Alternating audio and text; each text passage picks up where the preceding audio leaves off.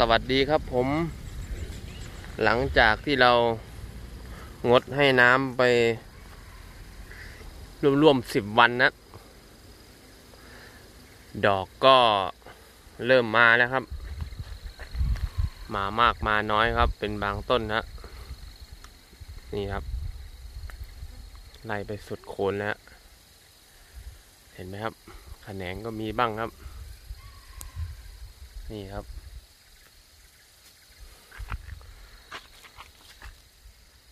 นี่ครับ อย่ากิ่งนี้ครับ ดอกครับแล้วก็ข้างบนไม่รู้มองเห็นหรือเปล่าครับ อันนี้ฮะอันนี้ขแขนงนะไม่ใช่ดอกฮะอันแหลมๆแบบนี้มันจะเป็นขแขนงครับ แต่ถ้าเป็นกลมๆเหมือนเหมือนอย่างเงี้ยนี่คือดอกครับ แต่ถ้าแบบนี้ เห็นมองเห็นไหมขแขนงครับ ก็เริ่มมาปะปนกันครับ เดี๋ยวพอเรา นี่ครับดอกนี่ขแขนง แล้วพออัดน้ำเข้าไป ก็คือให้น้ำอะ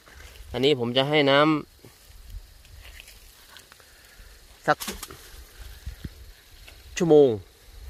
ใส่อัดไปชั่วโมงหนึ่งเลยครับ หลังจาก ที่สิบวินสิบวันครับ หลังจากสิบวัน ไม่ให้น้ำมา แล้วก็อัดน้ำครับ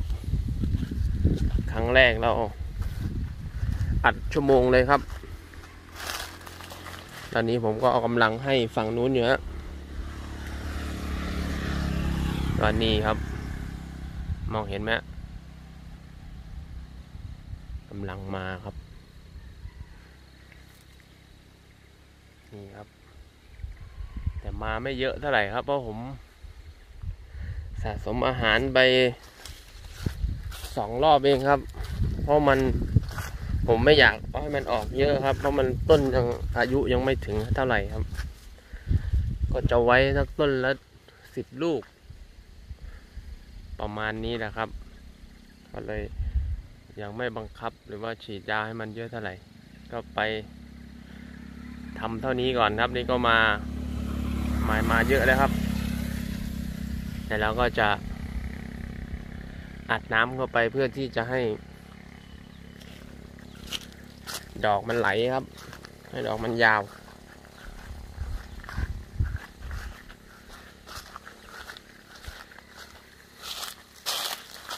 ก็ลดไปพร้อมกันเลยครับ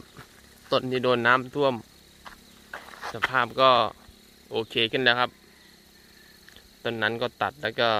ปูนท้า มาดูต้นนี้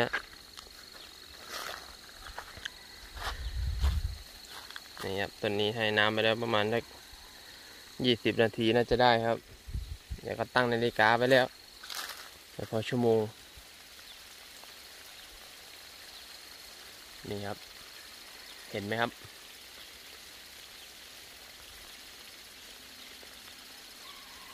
ต้นนี้จะออกเยอะเยอะที่สุดใน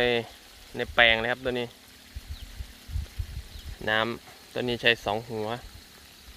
เพราะพุ่มมันใหญ่ครับ ตัวนี้ก็ยังไม่มาเท่าไหร่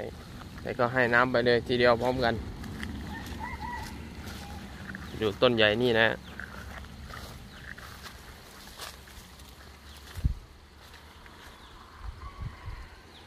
ต้นนี้ยังไม่เท่าไหร่ครับ เดี๋ยวเขาให้น้ำไปเดี๋ยวมันก็ออกเอง ถ้าไม่ออกก็ไม่เป็นไรครับ ปีนี้ ปีหน้าค่อยว่ากันเพราะต้นมันยังเล็กอยู่ครับ นี่ครับ เริ่มมาแล้วครับ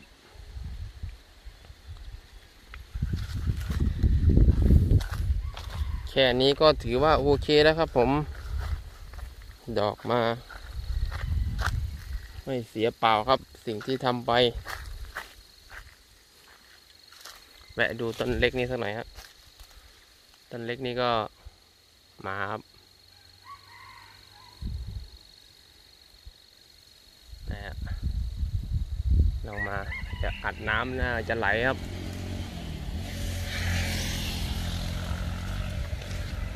โอเคครับผมสำหรับคลิปนี้ก็ ฝากกดไลค์ กดแชร์ กดติดตามด้วยนะครับ เพื่อเป็นกำลังใจในการทำคลิปในการทำสวนครับผม อันนี้ก็ถือว่าภูมิใจแล้วครับ เดี๋ยวก็รอลุ้นกันต่อว่า